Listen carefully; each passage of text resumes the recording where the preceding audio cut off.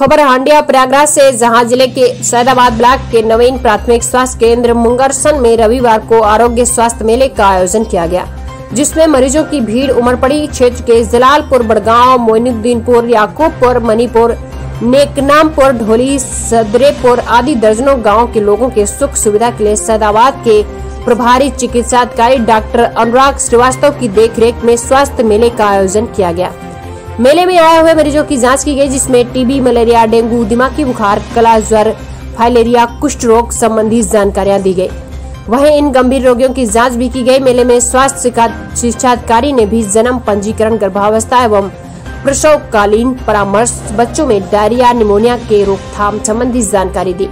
मेले में सपा नेता प्रमोद पटेल ने भी प्रतिभाग किया। हंडिया से एस के सिंह पटेल की रिपोर्ट। स्वास्थ्य मेला और कायम का आयोजन किया गया है इसके विषय में जानकारी दें। यहाँ पर क्या क्या इसमें क्या उद्देश्य है इसमें और क्या क्या कितनी चीज़ों का इलाज कराया जाएगा इसमें? आज जन स्वास्थ्य आरोग्य मेला लगाया जाएगा एक रविवार लगाया जाएगा। और इसमें सबसे पहले यहाँ पे एक तो नॉर्मल ओपीडी चलाई जाएगी। नॉर्मल ओपीडी के साथ साथ यहाँ जो जटिल रोग के पेशेंट्स आएँगे उनकी स्क्रीनिंग और उनका इलाज किया जाएगा। गर्भवती महिलाओं का पूरा चेकअप किया जाएगा। उनमें से जो अगर हाई रिस्क प्रेगनेंसीज हैं तो उनको रेफरल की सुविधा उपलब्ध कराई जाएगी। टीकाकरण होगा बच्चों का। और सबसे इंपॉर्टेंट यहाँ कोरोना से रिलेटेड जो हेल्प डेस्क भी बनाई गई है यहाँ कोरोना की स्क्रीनिंग भी की जाएगी पेशेंट्स की जाँच कराई जाएगी और उनको कोरोना के लिए जागरूक भी किया जाएगा। और सारी जो भी सब हो सब कोरोना के प्रोटोकॉल्स को रखते हुए ही किया जाएगा। सोशल डिस्टेंसिंग बनाई जाएँगी पेशेंट्स मास्क लगाएँगे। पर्चा? मेरा पर्चा मैं doctor Anurag Srivastava medical officer C H C Saidabad.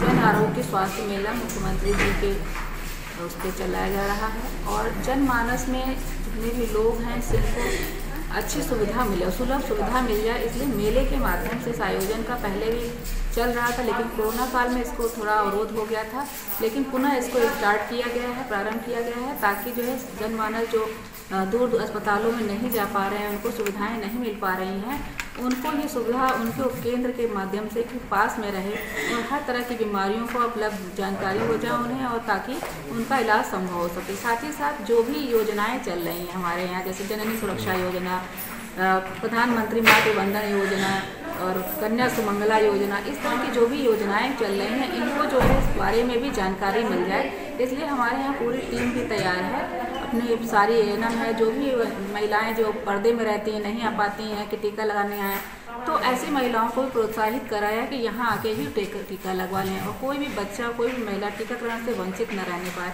साथ ही यहाँ पे बाल विकास पुष्टाहार की भी सेवाओं की व्यवस्था दी जा रही है, ताकि इन लोगों को सबकी जानकारी हो जाए और इलाज सुलभ हो जाए और जो भी इस तरह के या इस, जो भी कोरोना वाले भी अगर संक्षिप्त जो है, पेशेंट अगर समझ में आते हैं तो उनको भी रेफ़र किया जा सके और सुविधाएँ दी जा सके। इसके साथ ही जो है गोल्डन कार्ड जो है आयुष्मान भारत के अंतर्गत उनको भी बनवाया जाएगा और उनको ताकि वो अपना स्वास्थ्य लाभ ले सकें। धन्यवाद।